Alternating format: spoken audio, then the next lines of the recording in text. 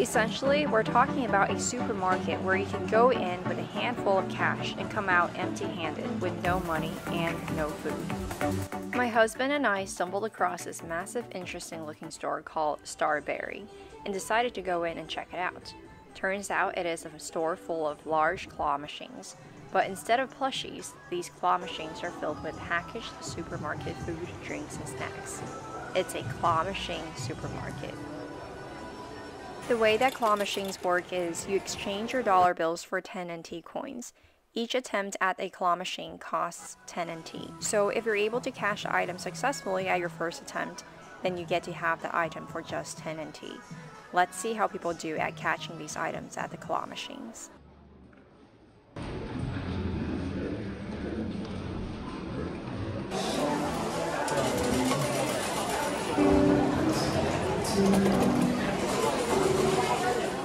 Well, it seems quite difficult to get your food from this grocery store. They even have these personnel around the store adjusting the positions of these items in the machine to make sure that it's not too easy for the customers to cash a bunch at once. Essentially, we're talking about a supermarket where you can go in with a handful of cash and come out empty handed with no money and no food.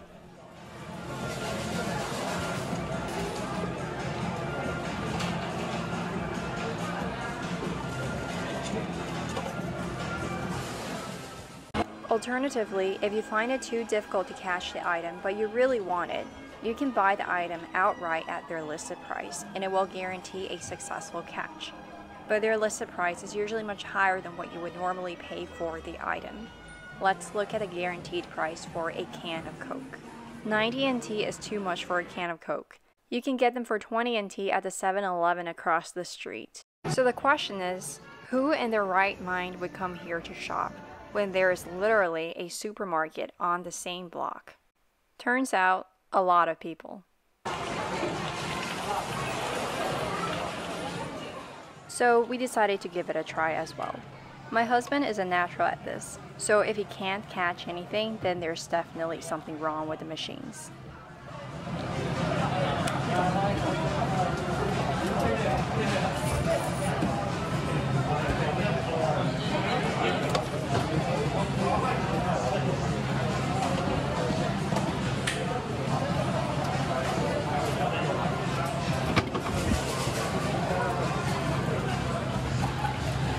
After all, it is not impossible to catch something.